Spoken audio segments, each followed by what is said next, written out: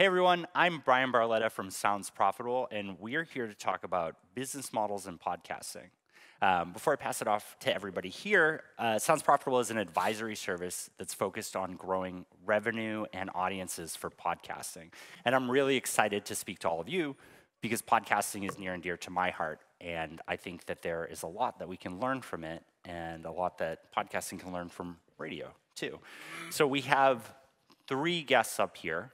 Each of them are going to talk a little bit about their business model uh, and the monetization options they have. Then we're going to turn to some questions that I have for them. And I think pretty early on, we're going to pass it off to some of you to ask questions too. So as you're going through everything, as you're listening in, if you have ideas, if you have questions, please write them down because we'd really like to hear from you. So we're going to go through and we're going to introduce um, everybody one at a time. We have uh, Rebecca Haase, SVP of Sponsorship at New York Public Radio, uh, which is really cool because uh, Rebecca and, and uh, New York Public Radio is uh, one of the first companies that really worked in attribution in podcasting. Uh, with progressive auto insurance, they really pushed that and pushed my limits into what we could do in the space and really drove that forward. We have Rob Greenlee, VP Podcast Content and Partnerships at Libsyn, one of the oldest podcast hosting companies, and yep. recently with their uh, acquisition of AdvertiseCast has become a major powerhouse in monetization in podcasting. It's been a really impressive transformation. Mm-hmm. And we have Nik- uh, Nikolaj Koppel, uh, co-founder and director of content at Podimo, who has really been taking the world by storm and growth from content and everything that you guys have been digging into. And I'm actually really excited because Nikolaj has got a presentation for us to walk through their model. So I'm going to pass it off to Rob Greenlee first. Yeah. Thanks, Bryan. It's great to be here um, in, in Sweden. Um, but uh, yeah, as far as business models with uh, uh, Libsyn, it's been a, a, whirlwind of the last year. Us, us acquiring companies like the AdvertiseCast platform, like Brian mentioned, um, where we're monetizing about 2,500 plus uh, podcasts uh, with advertising. Um, but that's just one piece of Libsyn, and I just wanted to say um, that you know most of our podcasters don't do advertising. So back when we started uh, as a podcast host in 2004, which was the first podcast host to ever exist, um, podcasting advertising wasn't something that um, really was done often and was not highly looked upon. So, so when we started, it really wasn't the the company is monetization. Really given giving people a voice, um, and then over time, you know, branded podcasts have developed and paid subscription models have developed, and and the advertising models have um, have kind of taken over the, the limelight. And so we've also acquired uh, a company called Glow that basically um, takes care of the premium paid subscription podcasting side, and we've done deals with Spotify to get um, content that's hosted on our platform into Spotify to offer a paid paid subscription model. Um, so, so we are now kind of a full-featured business model um, option for podcasters now, from sponsorship to advertising to paid premium um, to to just if you want to do um, you know like a, a, branded podcast where you're promoting your product or service or whatever, which is a big component of podcasting. So, um, so that's that's yeah. my story. I think that's really cool because it means that you have your hands on every aspect of podcasting. So, podcasting right now is such a big word right? This right here, if we turn this into audio format or even if it's in video, it can be a podcast, right? We're consuming audio, we're learning from it, we're enjoying it or being entertained from it. But then you have the core podcasters, the daily, these shows that serial, the ones that stick with us that are going to be institutions in the space. WNYC, plenty of shows there. And then uh, we have Hollywood productions. We have like the big budget ones. And that means that everything from what we could turn this into right here to enterprises in this space using the different tools and the monetization aspects, Libsyn gets to interact with all of them and hear a little bit about each of them. And so, Rebecca, let's let's hear from a publisher side. Yeah, so publisher side, not just any publisher, you know, nonprofit publisher um, in the U.S. I'm one of the largest, if not the largest, um, radio, public media radio brands in the country, New York Public Radio, where we have multi-platform, WNYC, WQXR, um, both, ter both terrestrially and digital streaming, WNYC Studios. I'm an early entrant in the podcast market. Um, Radiolab, our biggest show, is celebrating 20 years this year, which is incredibly exciting. Um, and then we also have Gothamist, which is a website uh, mainly based on in New York. So we kind of dip our toes in every single possible way to make money. We're a nonprofit. Um, that doesn't mean we're not trying to make money. We are just trying to make sure that the money we do make is reinvested right back into the incredible premium content that we produce. Um, we do sponsorship, which is what I'm responsible for. Um, in podcasting, that basically means advertising a little bit light, meaning we're not overly commercial. We really care about the listener experience. We don't have um, too much ad load, but we have enough ad load to drive a very fast growing podcast advertising business. Um, we also have a membership model. Um, members, individual community members who just donate money to, the, to our um, various shows and to us overall. We get foundation grants, which is another way to make money, which only really nonprofits can do. And when you're talking about local journalism in particular, the nonprofit model, at least in the US, is probably um, long term the most sustainable model. Um, and then we also have um, distribution and licensing um, rights to our content, so we can make money that way. From a sponsorship perspective, coming out of the pandemic, um, and I'm not sure if I should even say that. I hope we're coming out of the pandemic. Um, let's keep our fingers and toes crossed. Um, my team is leading um, the strongest rebound in the United States in terms of post-pandemic um, sponsorship revenue performance. Um, versus other public media benchmarking. We're up 50% year over year. We're having our best fiscal year since 2019. Um, and we're also over indexing some commercial um, competitors too, like iHeart or Amazon advertising. We're just having a really great year. We're optimizing in every way we possibly can. And in a business like podcasting, which is growing incredibly fast, um, it's growing because of mass and because of scale, not necessarily because of premium content, highly reported content, um, highly researched content, which is what WNYC Studios is really known for. So um, it's enab it enables us to kind of get more premium um, sponsors and premium CPMs and higher engagement from our listeners because they actually hear the spots. So it's really cool space. Before this, I was in the newspaper business. So I'm a newspaper refugee. Um, anyone in the radio business, from my perspective, radio is in no way in decline. If you want to look at a business that's a little bit in decline, look at print. radio is very much alive and well, um, and podcast is just kind of turbocharged. So there's just a lot of opportunity in the audio space in general that I think we should all just be really excited about.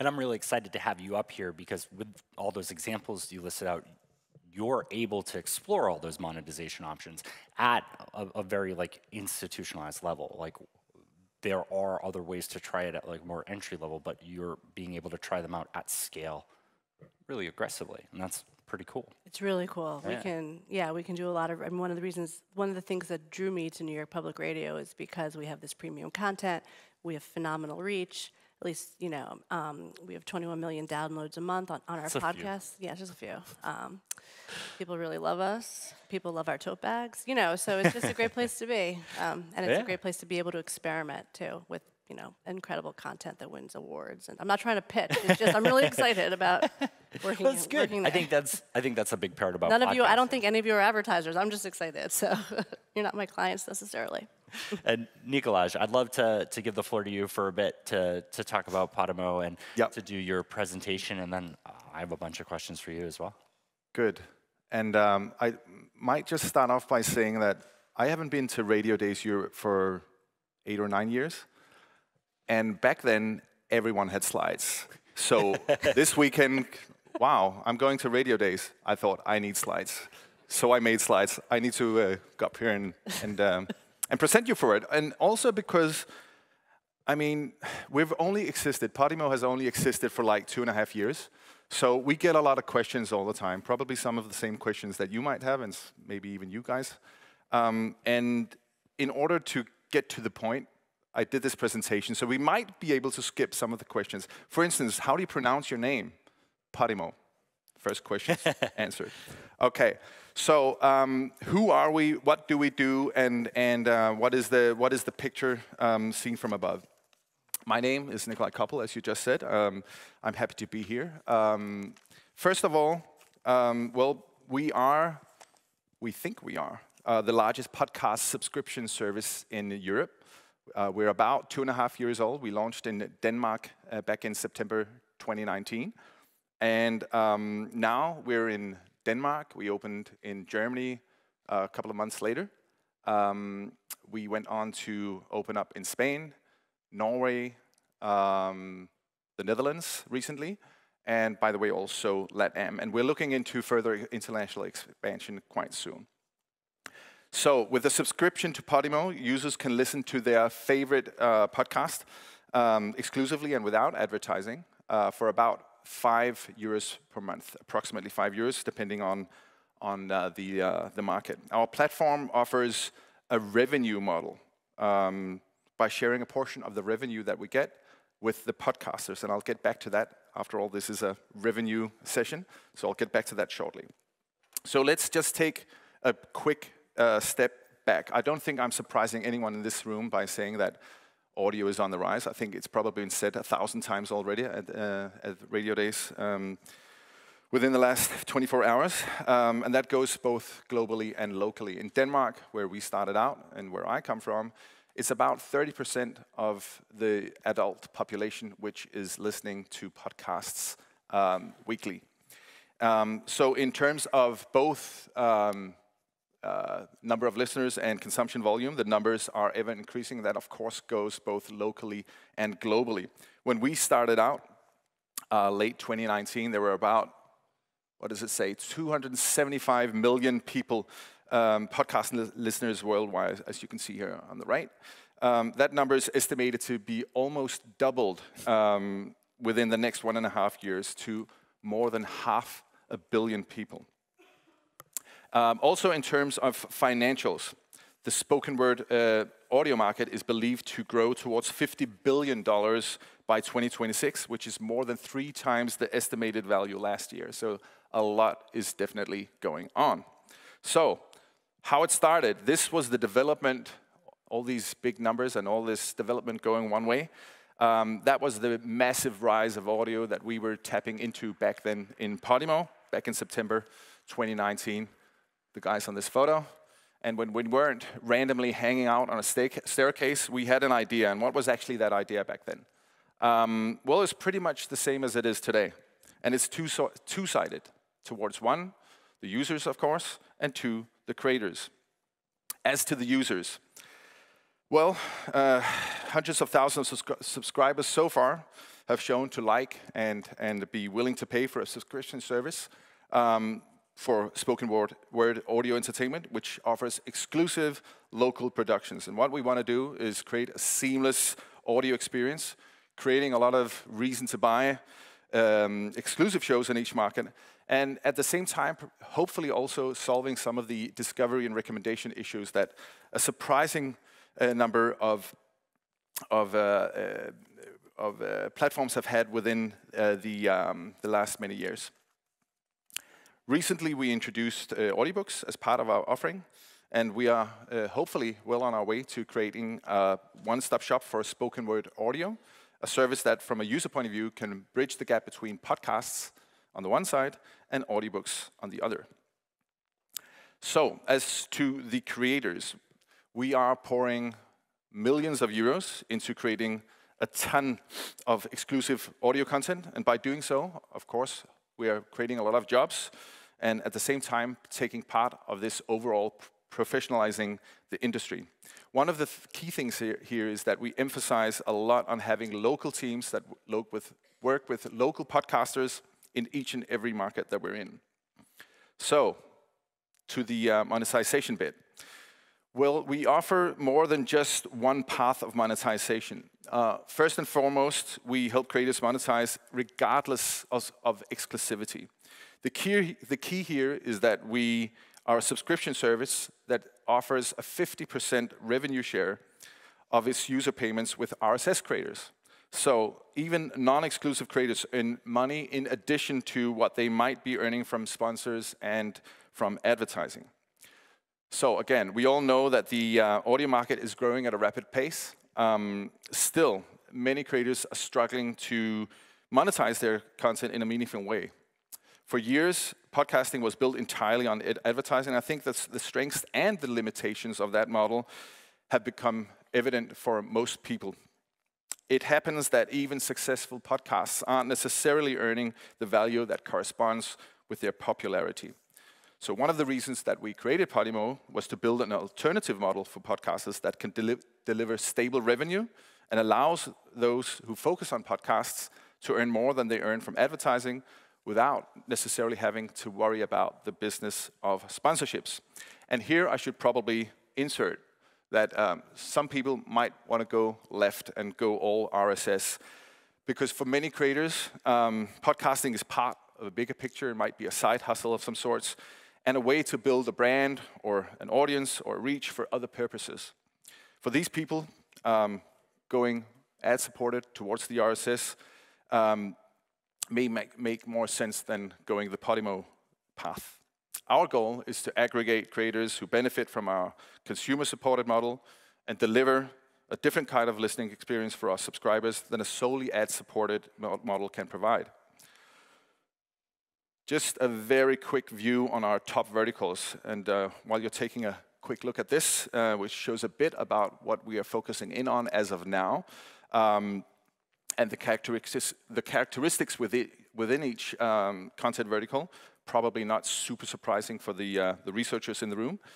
Um, also, having here a, a, slide on our listeners, um, I'd like to finish off by saying, uh, which by the way shows that, well, uh, not surprisingly, most users are somewhere in between 30-something uh, and 40-something years old, uh, female skewed, and our uh, stats right now are somewhere in the region of five hours listening per week and five unique podcasts per month and 23 episodes. Um, but of course, and that's probably also something that we're going to discuss in a minute, the audio market in general is so much expanding in so many different directions. Also because the medium is, itself is still developing. And just one word on the content itself. Let's face it, a lot of content within audio has not really been developed significantly within the last decade when it comes to formatting, UX, and etc. There are, of course, exceptions, but most content formats are still produced within the same four or five basic models over and over again. And I think, we think, there is a lot to come when it comes to innovating uh, the way in which we tell stories in audio. And we hope and we believe, also as owners, as the user experience in the shape of our own platform, that it's possible to unlock different verticals and ways of consuming audio. We also believe that a unique uh, listening experience can unlock even more of audio's value, for instance, by building an app which is more than just a basic audio player. So during the next 12 months, I hope, and, or even if I stand here in 12 months from now, I hope you've seen us experiment a lot with the app itself to deliver new audio formats um, to their fullest. But overall, we do believe that the development in the market will help the, grow the audio format even further, create more jobs, more innovation, etc., and hopefully even more amazing content. Thanks. Thanks. Yeah. I think you added even more questions for me now. Sorry? You have yeah. even more questions? Yeah. Nice. Well, I like it. Let's, I mean, let's dig into the first one subscription. I think subscription is such an interesting thing. I mean, first off, I, I want to say that when we're talking to a room full of audio people, I think we're going to cut off the bottom half. Um, I think it's very cool that there are a lot of cool creators out there building content that's inspiring for them, but I don't think today is the time we're going to talk about how they monetize, like under a couple hundred to a thousand downloads an episode that's a that's another conversation that we can dig into when we talk about the people who are treating it as a business growing and marketing it. That's the people that we're going to address here. So subscription i think rebecca you know what is subscription like for your company? It's a good question. Um, from a digital subscription perspective we kind of just started um, dipping our toe into the water um, with Radiolab, we have three different kind of subscription levels. But because we're a nonprofit, because ultimately we're a public good, we want to serve our community as best as possible. We would never fully cut off content to someone who doesn't want to pay for it directly. But um, subscribers get just, just some additional content or additional value um, while still being able to hear, um, you know, so the, the core part of the content that we put out. And is it um, ad free too, or Yes, it's ad free. now is it sponsorship free? It's sponsorship free. Gotcha. I like to differentiate ads and sponsorship because I think to me, sponsorship is a model for the publisher. It says, I'm bringing you this value, let's be associated. It's similar to licensing, right? Where advertisement is a flat rate. You get this amount of impressions for this many dollars. And so it's really important to, to think through that. I think a lot of times people think that you can't have sponsored subscription content. But ad-free content seems to be the push. Now, there's so many different platforms, right? We have Podimo, we have Apple, we have Spotify, we have Glow, we have all of these options here. Do you are you available through all of them? I believe so, but I'm not the expert on subscriptions. I'm the expert on sponsorship. No, but to be, um, we definitely are available through Apple. Um, Yeah. Yeah, but not as much through all the others, I don't think. And I think an important thing that I like to leave with everybody on that is that we think about the subscription model only as monetization sometimes, but Apple and Spotify and Podimo and Glow, this is a product that's valuable to them. So by participating in it and putting your marketing around it, they're going to co-market with you because it's beneficial to both sides. So don't think of it only as a revenue stream, but think of it as a chance to explore a different avenue of marketing when you try and figure out how you're going to accompany those costs. So Rob, Glow is an acquisition. It's been a little over a year. Yeah. Um, what's different about Glow is that we are we're providing a tool basically to content creators to to um, publish their podcast um, into a paid subscription model that can be more open, can be available off of really any any listening platform. The the podcaster would get um, or the subscriber would get a unique RSS feed to get access to the su- subscription content. Plus, we just did a deal with Spotify to get our Glow tool subscription into their interface.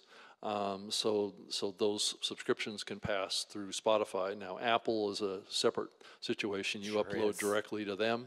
Uh, we don't have anything to do with Apple on that side, but, but you know, a, a solution with Glow basically gives you access to um, all customers that want to listen to any any of these podcasts that are under a subscription in basically any podcast player that will enable you to cut and paste in an RSS feed.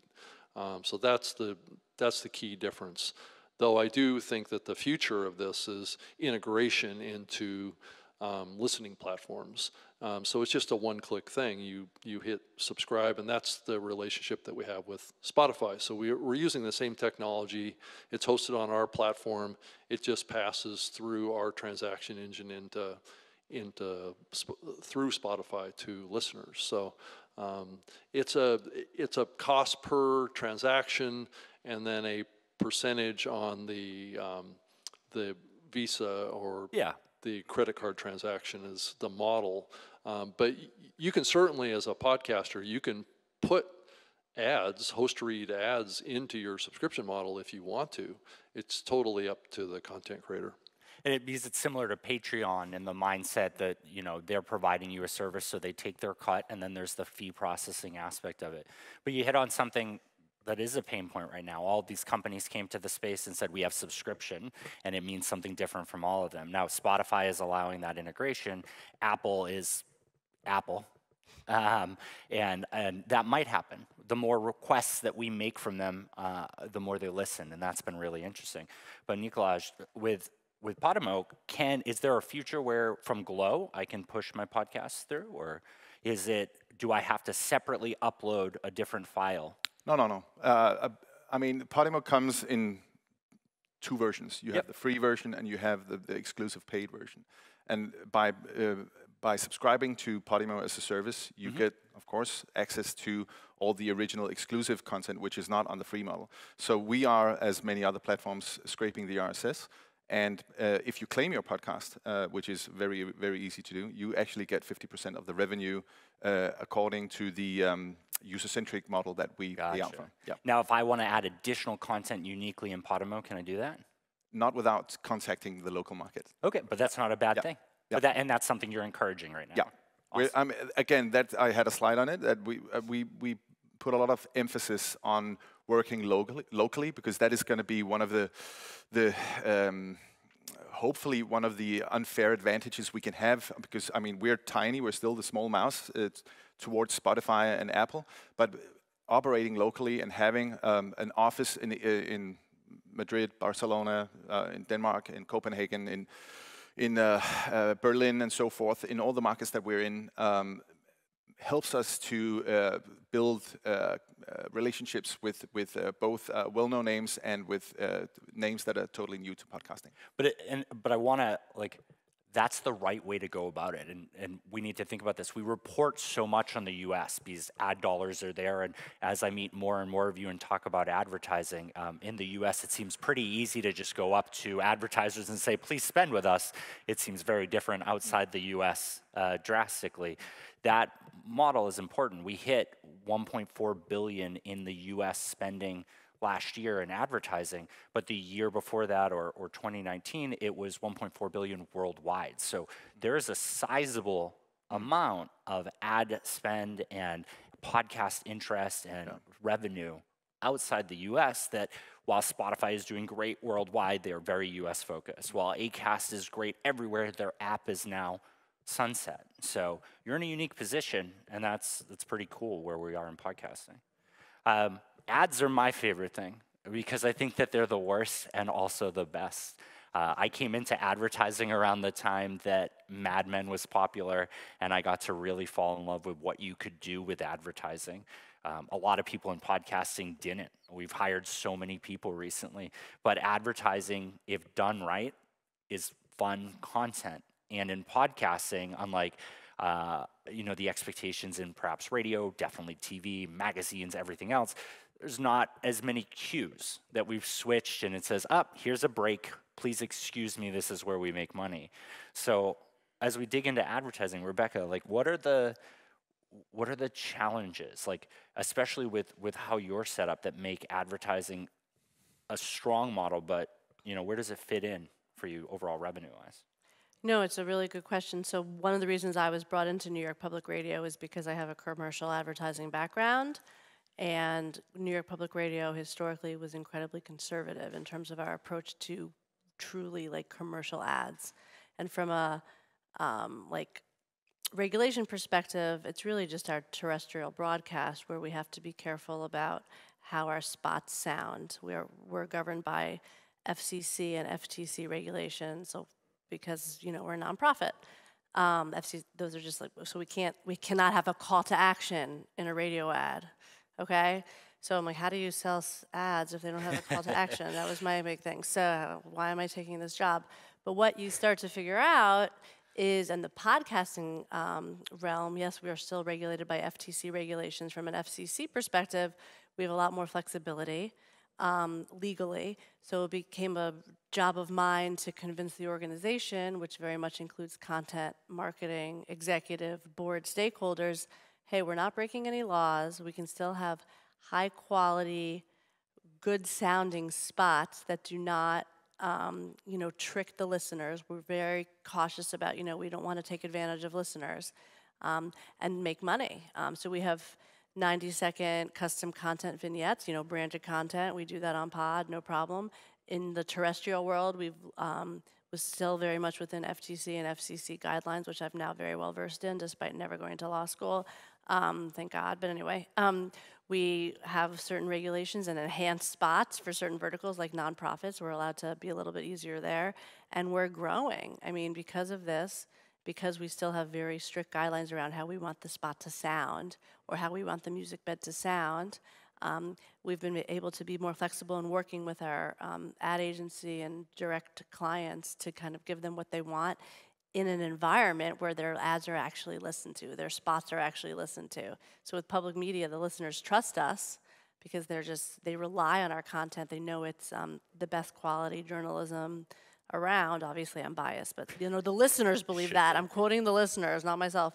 um, and they're like 73% more likely to you know, like a brand they hear on public media because they trust public media. They're 71 more percent more likely to take action because of a spot they hear because they of the environment of trust, and also because they can hear the spot. So, um, we're we're making it. We're figuring out ways to be a little bit more commercial while still um, maintaining our listeners and listener engagement and that sort of thing.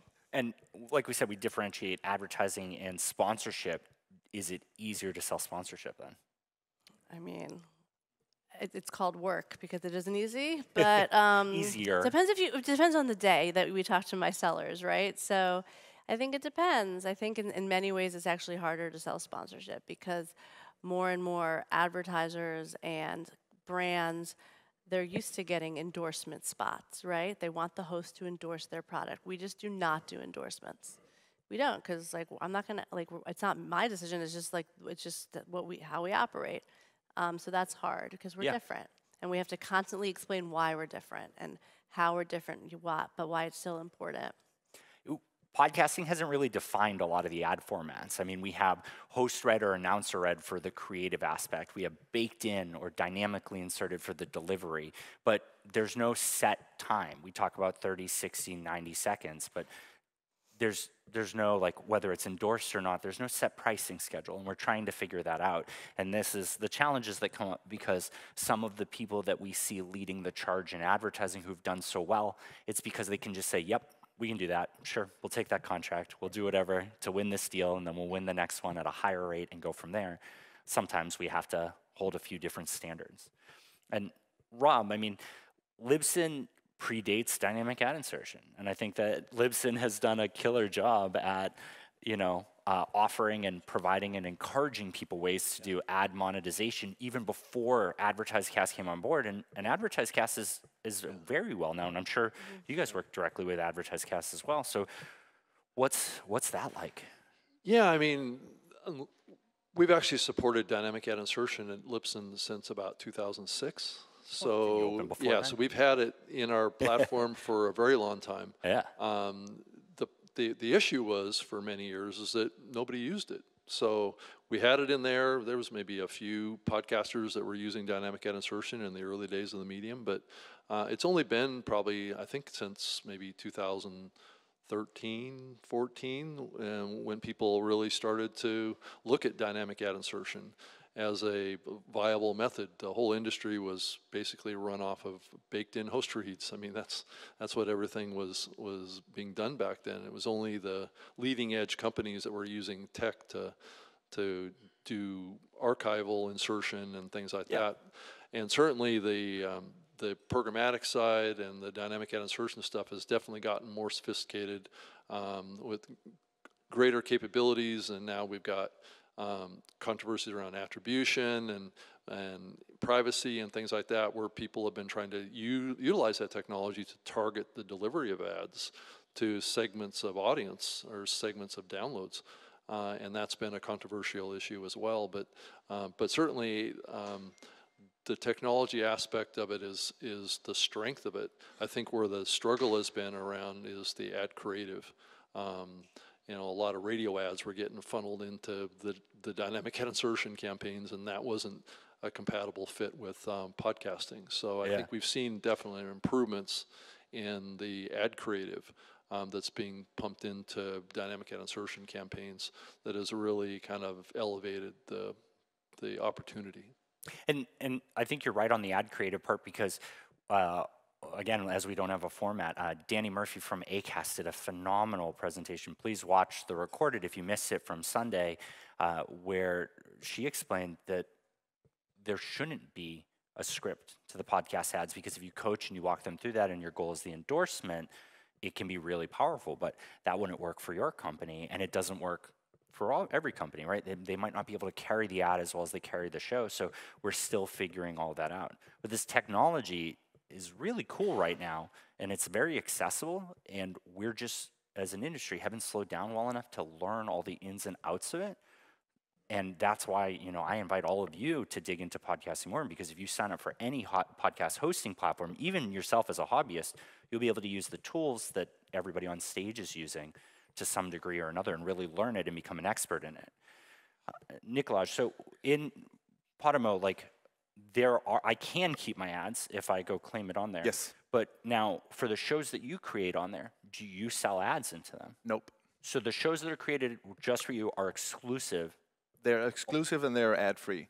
But of course, again, given the fact that we have a large number of other Yeah. podcasts which are non exclusive, um, they will come with the ads that they were born with. Now, And, uh, we do, I mean, we might here and there, we are testing it right now actually as we speak, um, insert some pre rolls, mid rolls, post rolls, whatever for own shows. Yeah. But we're very, very observant of not, you know, uh, disturbing the, the idea of the original and exclusive programming is ad free. And I think that's smart because the flexibility is really important. We're seeing in streaming Netflix having sworn they were never going to do ads at their last earning call. They're like, maybe, maybe we're going to get ads in there. And You're not getting me to swear anything today. well, good. No, I, but I, but it's good that you're testing it, and Yeah. you have an app, and you have direct user feedback, and you'll be able to see that, right? And that's what we need to remember. Radio. I'm, I'm 36 years old, and my experience with radio is, you know, lots of ads in the U.S. Um, a lot of you not in the United States are very lucky uh, compared in your experience, but there's a lot of ads. And then we go to podcasting, and I have a young child, and I listen to the podcast with, and I will pick an ad-free feed. I will pay that extra to skip it because it's been I've been able to avoid it. So giving the option to find it accessible, finding ads that are that are worthwhile um, and that resonate well can be a good path, but it's also very clearly not a requirement. Um, we have very little time left, but I would love to see if we can get one or two questions if anybody has any. Anybody raise your hand if you have a question? No? Okay. Anything that the three of you would like to, to bring up as a last remark or?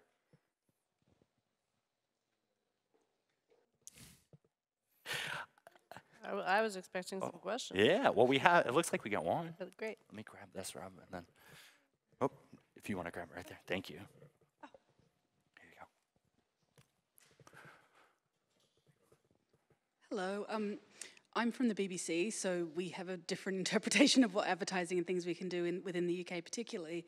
And I guess as we start to think about our our models outside the UK, one of the questions I had was, how do you consider? Obviously, we've looked, talked about advertising and sponsorship, but cross promotion, even of your own content. Do you include that in your premium feeds, like a 30 second spot, say for another title in your network?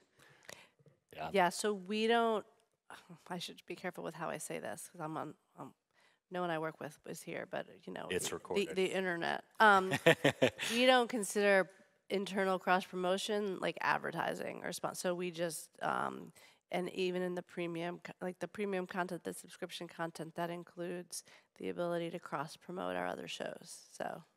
And Nikolaj, and do you? Uh, yeah, that was exactly what I was saying before. That we are trying to cross promote some of our own shows, but we have again we are very careful of not disturbing the ad-free experience um, because we don't do know that we again we don't want to put, put too much strain on on the the uh, the notion of that we are actually in fact uh, ad-free when it comes to the exclusive and original program programming.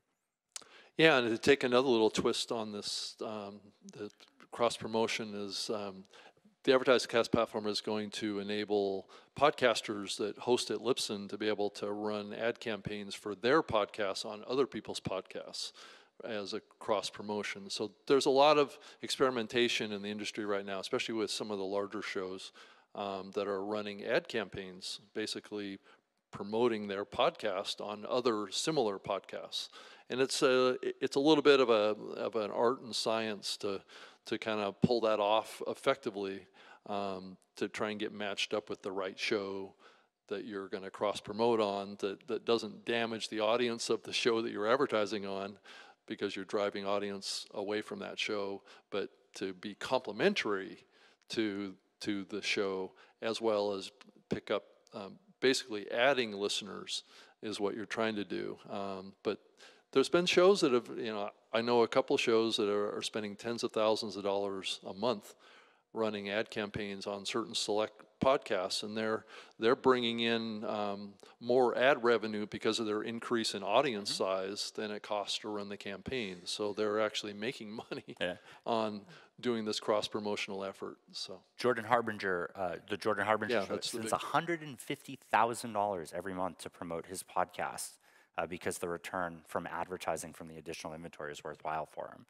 I, I think for the BBC, the, my advice there is that uh, you know content. And so if the promo fits with the content that you want to put it in and you make it feel organic and part of it, then it works in that regard. But I, I think a lot of the, the technical side of it considers promo to not be an advertisement.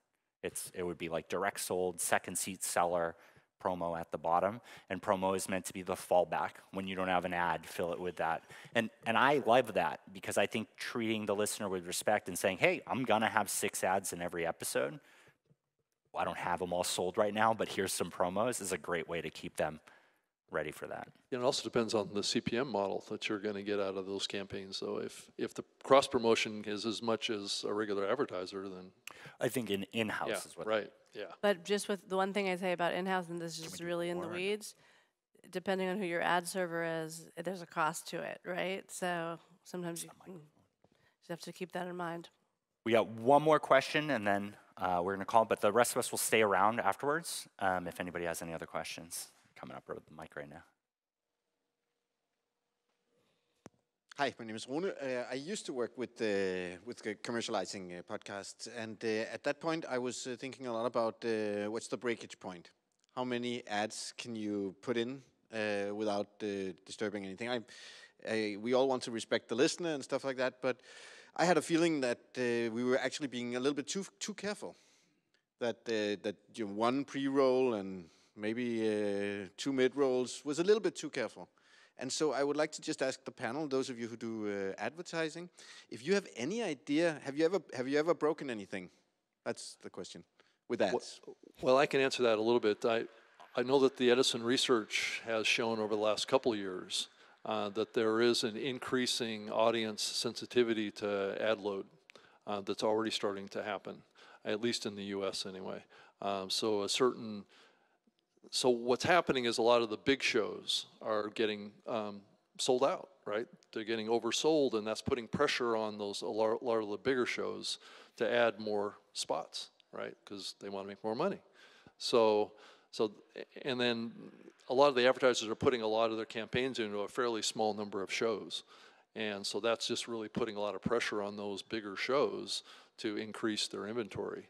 Um, this is driving this this metric that's coming out of the Edison research that's showing that audiences are getting a little overloaded, and so so I, I think the answer to this is to is to maybe um, get advertising agencies to buy across larger numbers of shows instead of putting so much pressure on these big shows and um, and overloading them. My last point with that, we don't know because so many scenarios where you can and can't break it. Um, but I think if you look closely enough, there are some networks, big networks, that have broken it. And well, uh, not if you keep releasing more episodes per week. There are ways around it, and there are ways to get more inventory. And if you look closely, people are struggling with these, and they're not looking at the numbers because, unfortunately, right now there are some big companies that their margin focus has been in the wrong direction. And I think we're going to see some changes related to that in the near future. Um, but yeah, I think I think ads have to be content in podcasting. They are part of your show, and that's what matters. And every show can be different. Thank all of you so much for coming here. It was great speaking to all of you. And I hope to see you next year.